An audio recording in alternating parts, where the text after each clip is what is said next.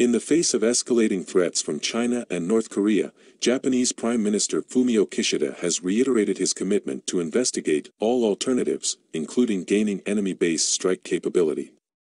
With North Korea continuing to test-fire ballistic missiles while advancing its capability, and China pursuing a military buildup and increasingly assertive activity in the region, Kishida said at his first troop review on Saturday that the security situation in the region is rapidly changing and that the reality is severer than ever.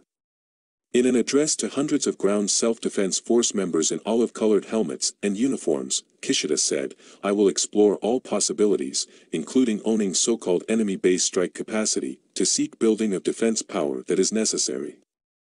At Saturday's Self-Defense Force military review held at the main Army base camp Asaka, north of Tokyo, Kishida, who entered office in October, acted as top commander for the first time.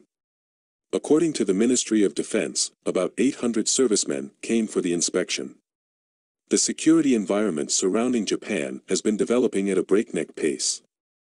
Things that used to only happen in science fiction novels are now a reality, according to Kishida. He stated that his government will lead reasonable and calm dialogues in order to identify what is required to protect people's lives and earn their understanding. The idea of having so-called enemy base strike capability has been a contentious subject in Japan, with opponents claiming it breaches the country's war-free constitution.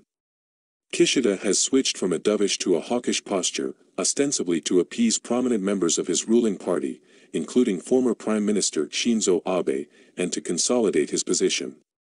He now calls for increased military capacity and spending in Japan.